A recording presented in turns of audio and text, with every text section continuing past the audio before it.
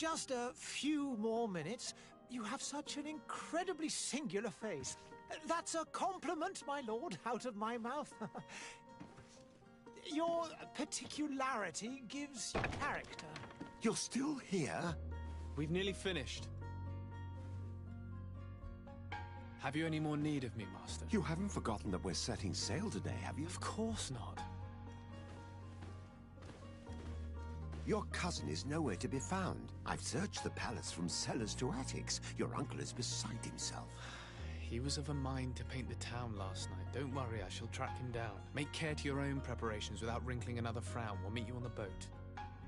It's about time your cousin took account of the responsibilities awaiting him.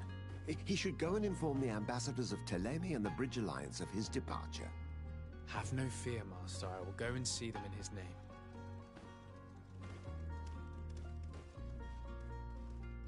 I beg your pardon, but urgent matters call me away.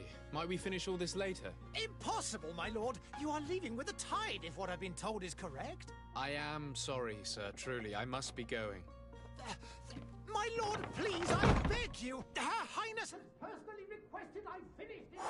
Thank you, cousin, for getting me out of that.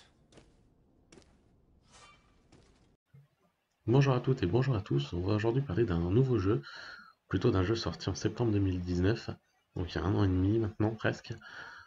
Un jeu développé par un studio français, le studio Spiders, il s'agit de Gridfall.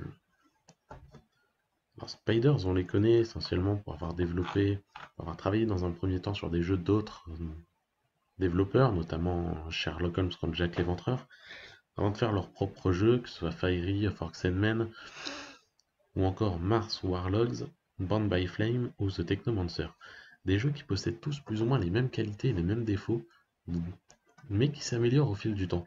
Gridfall, c'est leur dernier jeu, c'est le plus ambitieux, et c'est aussi le plus réussi jusqu'à maintenant, et ce malgré que ce soit un jeu qui possède quand même pas mal de petits soucis à droite et à gauche. Dans ce jeu, on contrôle le personnage de De Sardé, qui est un colon qui découvre une nouvelle île et qui va se rendre sur cette île, mais aussi croiser Constantin, qui est un membre de sa famille, mais qui a aussi promis un grand avenir, notamment à devenir roi ou au roi. Sauf que Constantin est atteint de la malichore, une maladie qui touche les gens de l'île, et ils vont essayer de comprendre d'où vient cette maladie et quel est le remède à cette maladie. Dans l'idée, le contexte, le scénario sont intéressants. Pour ce qui est du contexte lui-même, on est dans un monde fantastique aux allures d'Europe du XVIIe. C'est un univers qui est vraiment unique et qui rend très bien l'écran, notamment pour son esthétique. Il y a de très beaux décors, enfin avec vraiment de belles inspirations, que ce soit dans les designs des ennemis, ou quand on se balade simplement, on peut regarder les, les magnifiques décors du jeu, et ce, même s'il n'est pas particulièrement joli, particulièrement fou, il a vraiment un cachet unique en soi. Et en plus de ça, chaque secteur de jeu est bien marqué esthétiquement, ce qui donne vraiment quelque chose en plus au titre. Pour continuer sur les points positifs, on notera que le jeu possède pas mal de quêtes que ces quêtes sont plutôt longues parfois, bien scénarisées, ou plutôt elles cherchent à être bien scénarisées, mais c'est un des défauts du jeu sur lesquels on reviendra après. Autre euh, qualité du jeu, il y a énormément d'options de personnalisation des personnages, des armes et des capacités. On peut améliorer de nombreuses capacités, des attributs, des talents.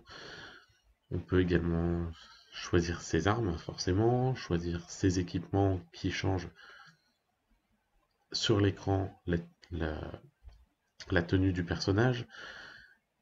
Il y a vraiment pas mal de choses à faire qui permettent d'aborder le jeu de diverses façons, que ce soit d'une façon plus tournée vers l'infiltration, plus tournée vers la force, plus tournée vers la magie.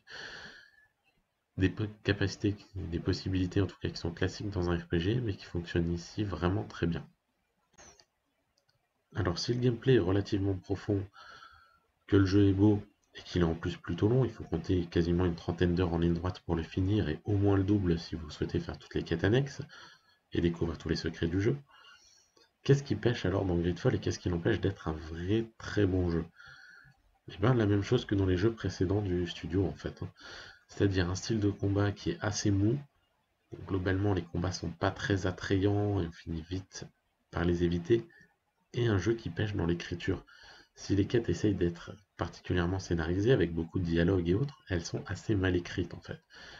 Et parfois, on va lancer des quêtes sur un rien. Par exemple, un personnage va vous demander de lui prouver que vous êtes loyal, et pour ça, va juste vous demander de récupérer une bague qu'il a perdue. C'est un peu léger quand même. Et c'est un peu ce type de schéma qu'on va retrouver tout au long du jeu. C'est assez dommage, d'autant plus qu'on a un autre souci, c'est les personnages en eux-mêmes, qui s'ils sont pas mal dessinés dans le jeu, en cinématique, c'est un peu plus léger, ils ont l'air très raides, et la mise en scène globalement est assez moyenne. Et c'est pas le seul souci, puisqu'on va noter un autre souci, qui est classique également dans les jeux du studio, c'est un gros pic de difficulté dans la dernière partie du jeu. On peut traverser le jeu assez facilement jusqu'à un certain point, où la difficulté augmente d'un coup. C'est pas le problème que le jeu soit difficile, c'est le problème qu'il est difficile d'un coup d'un seul à un moment. De fait, eh ben, ça oblige à repartir en arrière, à refaire tout un tas de choses, à faire des combats de manière sans grand intérêt en fait. Et ça a tendance, tendance en tout cas à gâcher un peu le plaisir de jeu.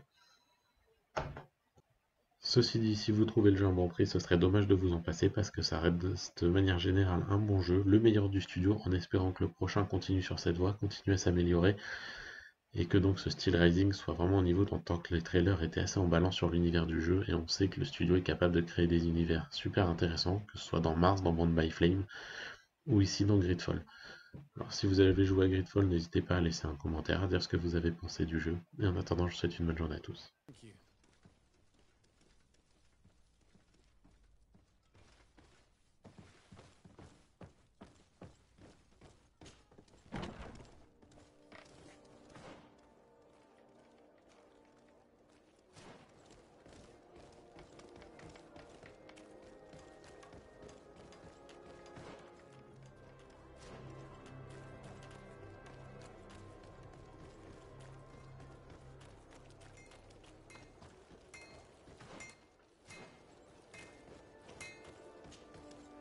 Greetings.